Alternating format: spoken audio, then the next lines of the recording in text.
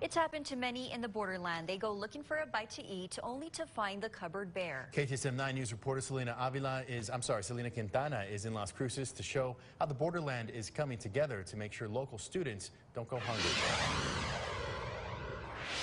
I'm here at the Aggie cupboard where they've been receiving donations throughout the day, right before they close for the holidays.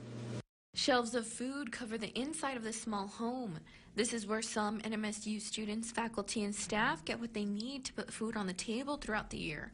The cupboard is a food pantry on the NMSU campus focusing on serving people who can't afford the basic necessities for daily meals. Food security is much more of an issue than a lot of people realize, especially on college campuses.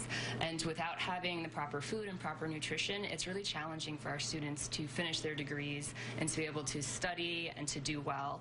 Donations make the cupboard run and lots of them. Some local restaurants recently raised more than $2,000 for the cupboard, raising the pantry's budget by 40%.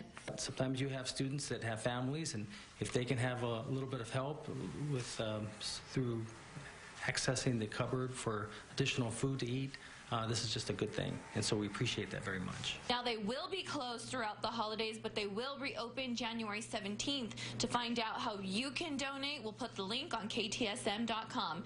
Reporting in Las Cruces, Selena Quintana, KTSM 9 News. All right, Selena, thank you very much. And we are still waiting for winter here.